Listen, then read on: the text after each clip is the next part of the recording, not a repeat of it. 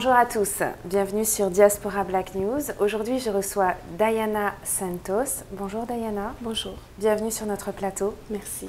Alors Diana, tu es artiste gospel, professeur de chant et copropriétaire de Dream Voice, qui est une, euh, une, école, de, chant, musique. école de musique, ok.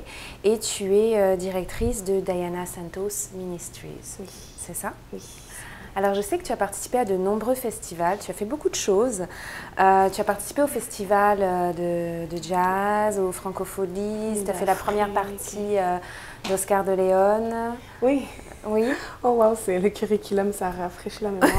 ouais. Tu as fait beaucoup, beaucoup de choses, il me semble, hein, au niveau de ta carrière Mhm. Musicale et de chanteuse gospel surtout. Mais euh, aujourd'hui, Diana, tu es là pour nous parler de... Avant de nous parler de ce que tu fais aujourd'hui, Mhm. tu es là pour nous parler de ton passé. Mhm. Euh, je crois que tu as eu un passé très très particulier. Mhm. Tu as été danseuse nue pendant 8 ans. Est-ce que c'est correct? Oui, Ok. Tu as commencé vers les 18 ans, c'est ça? 19. 19 ans, ok. Et euh, je t'ai entendu dire en fait dans ta biographie que tu avais reçu une très bonne éducation. Tu es issu d'un, tu es issu d'un foyer monoparental, Oui. c'est bien ça Oui. Et tu as reçu une très bonne éducation de ta mère. Oui. C'est ce que j'ai entendu Elle, dans elle ta... a fait son travail. Elle a fait son travail. Mhm. Euh, moi, vraiment, ce que j'aimerais euh, savoir, c'est comment euh, la jeune fille que tu étais à l'époque, quand tu avais 19 ans, comment est-ce que tu t'es retrouvée dans, dans ce milieu de, de, de la nuit euh, à danser nue pendant 8 ans Est-ce que tu veux bien nous parler de cette époque de ta vie? Euh, oui. Euh, en fait, c'est- c'est sûr et certain que les influences sont venues beaucoup jouer, mais je pense que c'est vraiment un manquement que j'ai que j'ai eu dans ma vie. Euh, depuis ma tendre enfance, il y a eu justement au niveau sexuel des approches, des attouchements, de l'inceste, un viol à l'âge de 15 ans. Alors, euh, c'était c'était, euh, dans une bonne éducation que j'ai été élevée, oui, mais il y avait un manquement, il y avait un manquement d'amour, il y avait un- un- un- une recherche d'identité. Et euh, avec les influences qui te montrent qu'il y a la possibilité d'avoir de l'amour euh, dans le métier du sexe, euh, certaines personnes voient juste le côté A, mais cette personne-là effectue, bon, dans la danse, il n'y a pas de, relation sexuelle, mais c'est quand même un contact corps à corps. Alors, cette demoiselle effectue, elle, se- elle permet des personnes de mettre euh, leurs empreintes digitales sur elle et, cette demoiselle est perdue. Mais c'est plus que ça, c'est vraiment une question d'identité, c'est une question d'influence. Et euh, aujourd'hui, euh, dans les années 2000, on est rendu à ce que c'est rendu à la mode euh, faire cela. Euh, pourquoi? Parce qu'il y a beaucoup d'enfants qui sont élevés dans la monoparentale, et dans la- qui ont des parents monoparentales, et des, des demoiselles qui recherchent l'amour dans le copain, et le copain lui dit euh, Va travailler là-dedans, moi je trouve ça cool, j'aime les femmes comme ça. Alors c'est vraiment question d'influence. Personnellement, moi, je recherchais l'amour l'attention. Et tu parlais d'influence. De quelles influences tu Mais veux c'est sûr et certain que Les médias, la musique, il y avait des gens autour de toi Dans la euh, musique, c'est sûr et certain que c'est le numéro un pour dire oui, c'est correct.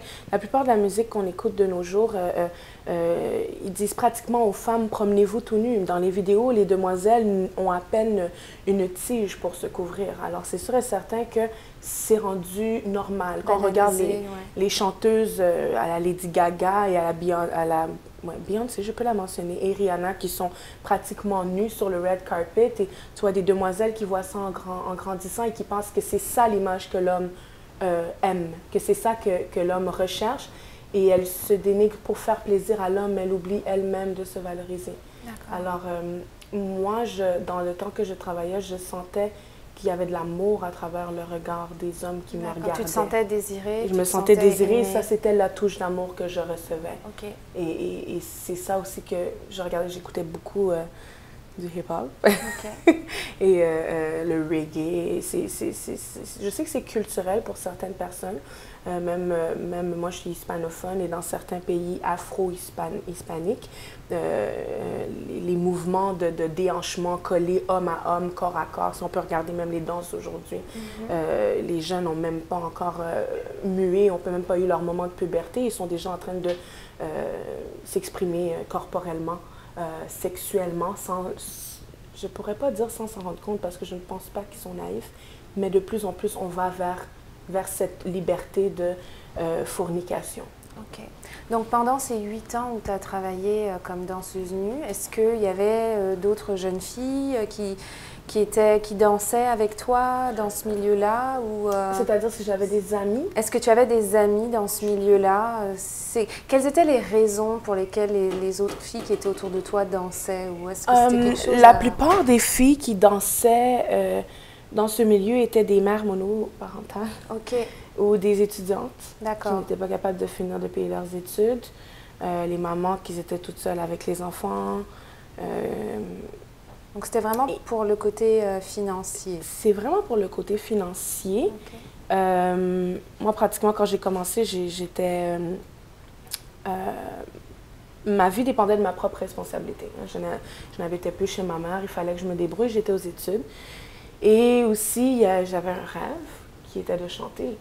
Et dans la musique, du, de la musique courante, en ce moment, je fais de la musique gospel. Alors, la musique païenne, c'est comme ça que j'appelle ça, la musique du monde. Euh, une fille, c'est, as le choix. C'est où tu couches avec quelqu'un pour que la personne ait fait, elle investit sur toi, ou toi-même, tu vas travailler et tu investis sur toi-même. Alors, moi, j'ai préféré aller danser euh, que coucher avec un producteur pour m'autofinancer. Malheureusement, c'est, tu tombes dans, le métier. Moi, personnellement, je n'aimais pas faire ce travail. Euh, oui, il y avait c'était le seul côté que j'aimais, c'était que euh, c'est comme si les hommes étaient à tes pieds, ils étaient attirés vers toi et tu avais cette importance, mais je n'aimais pas ce métier. Alors, pour pouvoir travailler, je devais consommer. Et c'est là que ça devient un cercle vicieux et tu te perds. Et c'est pour ça que pendant huit ans, euh, le plus dur, c'est de partir parce que tu fais une somme d'argent et après aller au salaire minimum avec les dépenses que tu as en tant qu'étudiante et dans la musique, c'est impossible. Alors, tu, tu consommais quoi euh, J'ai commencé avec la marijuana.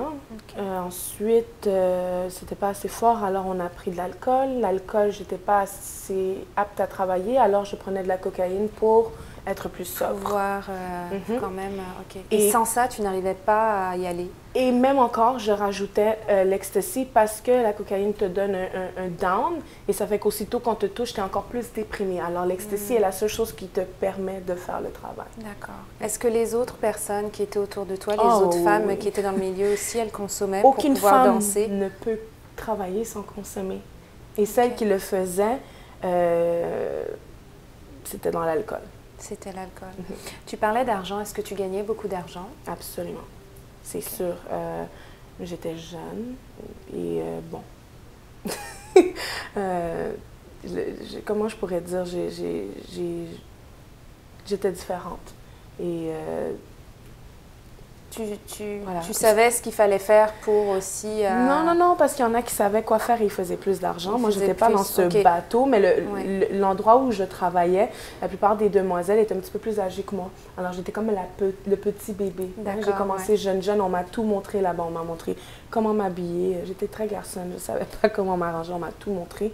Et euh, comme on n'était pas beaucoup de filles euh, de couleur, c'est vraiment plus des Caucasians.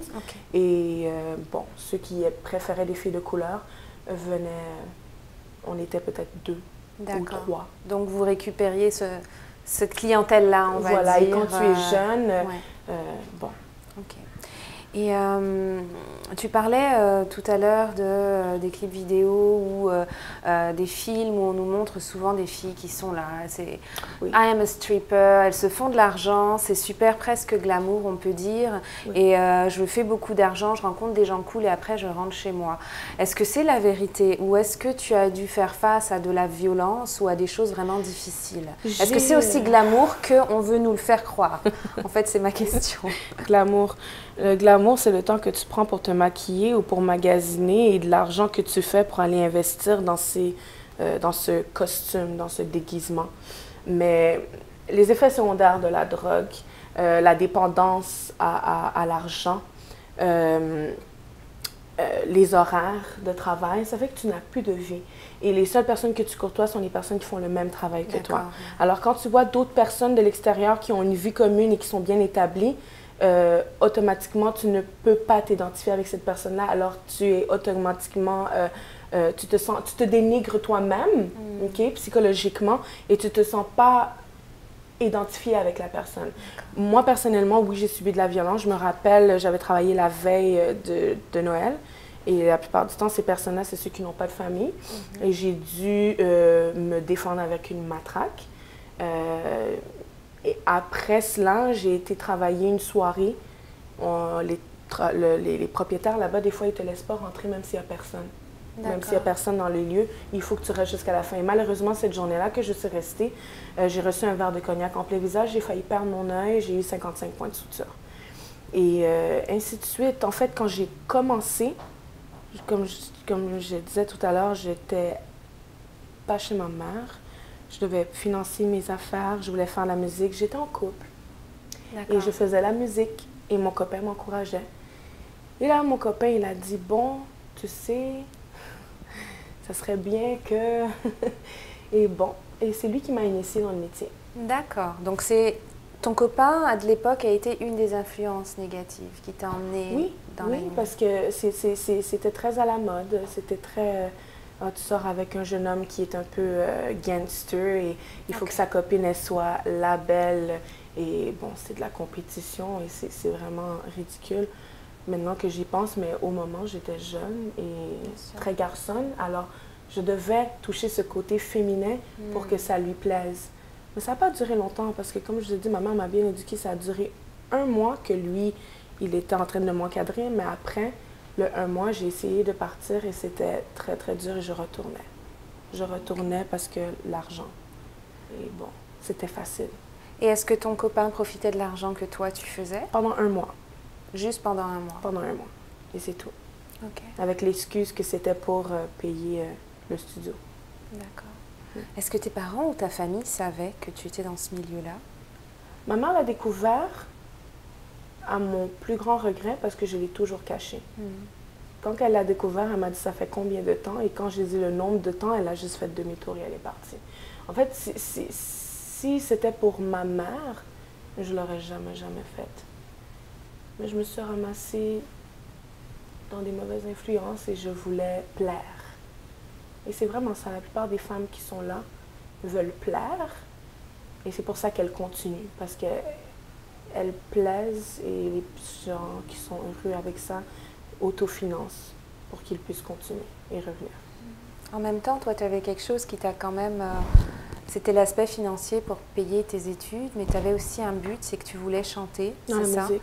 Ok. Et euh, est-ce que le fait d'avoir quand même un but, ça t'a en quelque part aidé à sortir de ce milieu-là? Même si c'était un but lointain, est-ce que ça, c'est quelque chose quand même qui t'a tenu, on va dire La personne qui m'a sorti de là, euh, oui, c'est vrai que c'est un but, mais la personne qui m'a... En fait, euh, avant que je sorte de là, j'ai arrêté la drogue. C'est en arrêtant la, la drogue que j'ai été capable de fonctionner pour prendre un but. Et c'est ma mère qui m'a sorti de les drogues. Elle m'a juste repris à la maison puis elle m'a dit c'est où je te mets dans un centre et tu peux pas chanter nulle part? Parce que je chantais. Et moi, j'ai toujours été une personne qui a été capable de camoufler euh, tout ce qui se passait. Euh, mais aussi, c'est pas capable de, c'est plutôt, je voulais pas que ma mère le sache. Je voulais lui montrer que j'étais indépendante et que je pouvais faire mes affaires. non? Et, euh, et c'est ça. Alors, ma mère, elle m'a aidée avec. elle m'a dit si tu viens à la maison, tu arrêtes les drogues, mais tu vas pouvoir continuer à chanter. Et elle, elle a commencé à, à m'encourager. Et elle était très présente. Et j'étais contente parce que, euh, étant mère monoparentale, elle devait travailler beaucoup. Mhm. Elle m'a très bien éduquée, mais elle a travaillé beaucoup. Et mais quand c'était mon moment de désintox, elle a tout laissé tomber juste pour m'aider. Et c'est là que je suis retournée aux études. Je suis rentrée à l'université. Je suis tombée en amour avec la théologie et ma vie a pratiquement complètement changé. Je suis rentrée à l'église et oui, je chantais le gospel, mais je ne comprenais pas ce que je chantais. Et quand je chantais dans le, monde, euh, je me sentais vide. Je payais pour les ongles, les cheveux, le maquillage, les vêtements, je me sentais vide. C'était comme, on applaudit et après, tu te ramasses toute seule. Sauf qu'aujourd'hui, c'est différent. Tu amènes un message d'espoir aux gens. Tu leur donnes une, raison de, de se soutenir et, et, et tu sais pas par quoi ils vivent. Mais moi, je comprends parce que j'ai passé par ce fardeau. et juste apporter la musique à eux pour que ça puisse faire un changement dans leur vie, je sors de scène et je sais que mon travail a été fait. Je sers à quelque chose qui est autre que vendre mon corps et m'autodétruire. Et vraiment, le, le, ta vie, elle a changé, en fait, au final, c'est quand ta mère a découvert que, que tu dansais et qu'elle t'a demandé de revenir à la maison. C'est à ce moment-là qu'il y a eu un tournant En fait, que ça, a pris du temps. Ma mère, quand elle a découvert, ça a, fait, ça a créé une distance. Ok. Euh, ça, je devais plutôt aussi respecter aussi que elle était choquée. Euh, elle, elle, elle, était très déçue. Elle sentait que c'était de sa faute. Et Bien sûr. C'était pas de sa faute. C'était vraiment ma décision. Et euh, après, quand elle a. Quand elle a, quand elle a euh, un jour, elle m'a juste vue au loin, je ne savais pas. J'étais en consommation. J'étais pas là. Et elle m'a appelé le lendemain, et elle m'a dit Je t'ai vu hier. Et je ne me suis pas ah, approchée. D'accord. Ta vie. Elle, et là, en fait, je vais être avec vous. Elle m'a appelé, elle m'a dit Fais tes bagages, on s'en va à Cuba. et quand je l'ai vue, elle m'a dit Quand je t'ai appelé, je t'ai vu la journée d'avant. Je clarifie. Et j'ai été vue dans la consommation. On m'avait averti, mais je ne voulais pas écouter. Hmm. Et là, je te dis Dès maintenant, ici qu'on est à Cuba, tu ne toucheras plus rien.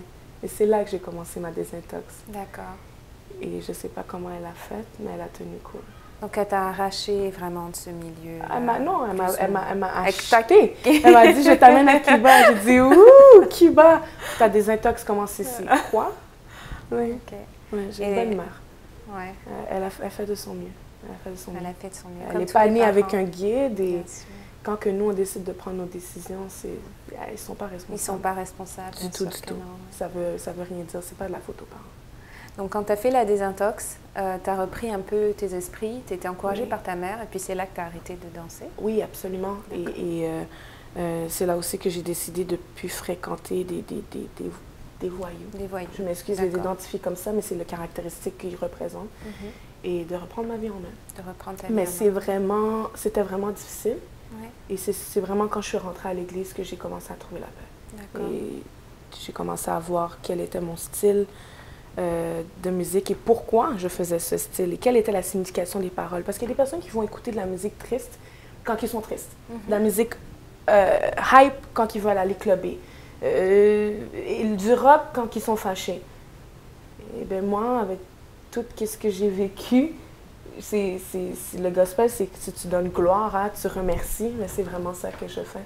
Et j'invite d'autres personnes qui sont dans, dans ce besoin-là je pense qu'on est tous dans un besoin, dépendamment dans notre vie, une étape à un moment donné, qu'on a besoin justement de cet espoir, de s'attacher à quelque chose qui, qui nous permet de continuer et de ne pas vouloir mettre fin à nos jours et d'abandonner. Alors c'est vraiment ça le gospel.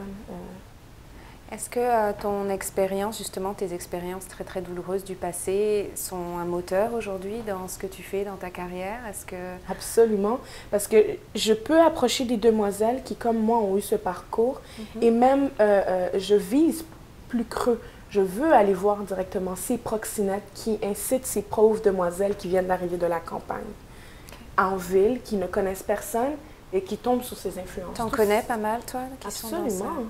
Absolument. Et après huit ans, tu connais le milieu. Tu connais le milieu. Quand tu es une demoiselle qui a. La plupart des femmes sont dans le milieu sous la protection d'un homme. OK. Quand tu es dans le milieu sans la protection d'un homme. C'est dangereux, très. C'est très dangereux. Tu dois. Comme je vous ai dit, moi, je me promenais avec une matraque. J'ai reçu un, verre de cognac en plein visage sur le lieu du travail. Et c'était toujours comme ça. Même, je, suis quand même assez costaud. Il y avait des hommes qui me disaient surveille cette demoiselle pour moi. Et ils ne savaient pas qu'en arrière, moi, je disais pars, éloigne-toi, échappe-toi. J'aurais pu me faire tirer une balle, mais je pense que j'ai parcouru ce chemin-là pour aider les autres. Je le vois plus ainsi. Je ne le vois pas par Ah, et pitié de toi ou N'as-tu pas honte? Non, c'est plutôt ces expériences-là me permettent justement de pouvoir ouvrir la porte à d'autres qui ne savent pas dans quoi ils sont embarqués. Mhm. Et il y en a qui meurent. Il y a des gens qui meurent, qui atteignent le sida, qui tombent enceintes de, de clients. Mais toi, étais, tu n'as pas euh, été dans la prostitution. Tu étais vraiment proche, il me semble. proche. Mais tu n'es pas tombée dans ce piège-là. Mais il y en a beaucoup qui Qui continue sur cette voie-là. La raison de mon cognac, le cognac, mon cognac, je ne bois C'est pas ton cognac, c'était juste en le fait, moi, je ne bois plus depuis, euh, alors euh, non, mais de toute façon, le cognac, j'ai jamais aimé ça, mais bon, anyways. Euh, j'ai reçu ce verre de cognac en plein visage parce que j'ai refusé à un client d'avoir des relations sexuelles. Oui, et je lui ai dit, moi, je suis pas comme ça, et il m'a dit... mais regarde où tu te trouves et je me suis sentie insultée. Je me rappelle que les, les policiers m'ont dit, mais si tu te sens insultée, pourquoi tu es dans le métier? Et je ne savais pas quoi répondre. Ouais. Alors oui, moi c'était plutôt ça. Mais je pense aussi que les demoiselles aussi qui le font sont vraiment désespérées, mais j'ai toujours eu des bons amis. Comme je suis dans la musique, et la plupart des, des personnes me, me, connaissaient bien, j'en ai plusieurs qui m'ont dit Diana, sors de là. Et je les appelais. J'ai pas fait de dessous aujourd'hui, je suis m'appelée. De quoi tu parles? T'as pas fait de dessous. Je me trouve à tel endroit. Diana, qu'est-ce que tu fais là? Qu'est-ce que tu fais là? Même les filles dans le travail me disaient, mais toi, qu'est-ce que tu fais là? J'ai jamais été faite pour être là-dedans. Personne n'est fait pour être là-dedans, mais j'ai mm. jamais été faite pour être là-dedans. J'étais garçon, il n'y avait aucun côté féminin en moi. Mais je sens vraiment que j'ai parcouru ça pour permettre aux autres de comprendre que ce n'est pas un chemin à suivre et je peux témoigner de ça. OK. Mm. Alors, ta vie a énormément changé quand tu as quitté ce milieu. Absolument. Qu'est-ce que tu fais maintenant? En ce moment, ben, euh, Diana Ministry, c'est justement euh, mon ministère, on appelle ça ministère, mais si vous préférez, c'est un organisme mhm. où on va dans les hôpitaux, on va voir euh, les centres euh, des enfants ou des personnes en réadaptation ou les femmes battues. Euh, on approche tous ces personnes-là justement qui vivent, comme j'appelle ça, par des moments de, de chaos, de détresse, de, dépression, qui sont sur le bord du suicide pour leur apporter justement le message d'espoir. On fait ça bénévolement. Et euh, euh, c'est sûr et certain que nous, on fait partie de, chacun de différentes, de différentes églises. Et ensemble, on s'unit avec, avec la même foi pour justement aider ces personnes-là. Dans l'équipe, ce sont des personnes merveilleuses qui, qui, comprennent. Euh, certaines, certaines, plutôt une personne dans le groupe, elle a vraiment passé par le même témoignage et elle me soutient absolument. Et les autres, sont vraiment un grand soutien, dont mon copain qui est le premier à me, dire vas-y, vas-y, ne lâche pas, il n'abandonne pas. Et c'est pas facile parce que veut, veut pas faire ce travail-là, ça requiert euh, beaucoup de sagesse que des fois, tu as besoin que quelqu'un d'autre l'aille pour que tu puisses euh, persévérer. Alors, Diana Ministry, c'est vraiment, vraiment dans cette optique. On s'unit on pratique. Deux fois semaine, on, on, la musique, on compose, on va sortir très bientôt.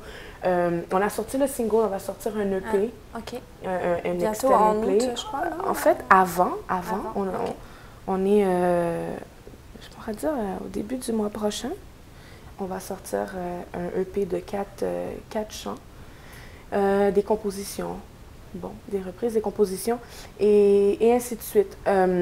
On a aussi une école de musique. Mhm.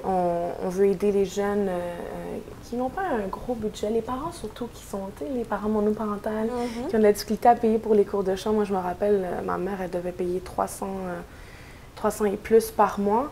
Et là, en ce moment, un jeune peut venir pour 100 dollars et se procurer des cours de, de, piano, de guitare, de, de, chant, de saxophone, de solfège, de basse. Tout. pour, pour 100 dollars le mois. Et c'est beaucoup plus économique. On y va de, de, de 3 ans euh, jusqu'à en montant. Et euh, on a la porte ouverte. La plupart, tous les professeurs, pardon, pas la plupart, tous les professeurs sont des professeurs qui vont à l'église aussi, euh, qui, qui, sont habitués à travailler avec des familles.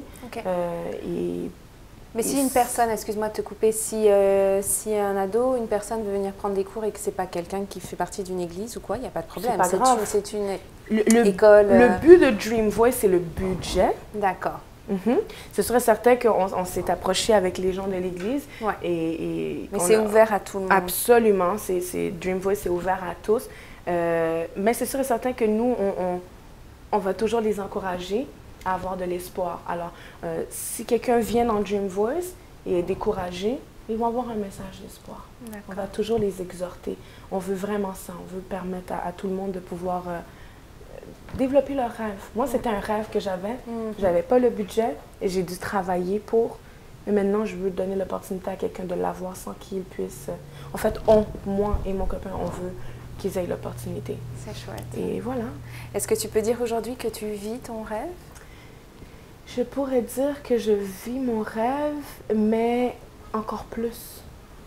Encore plus parce que certaines personnes vont chercher la popularité et cela n'apporte pas pratiquement la liberté de pouvoir s'exprimer ou, le bonheur.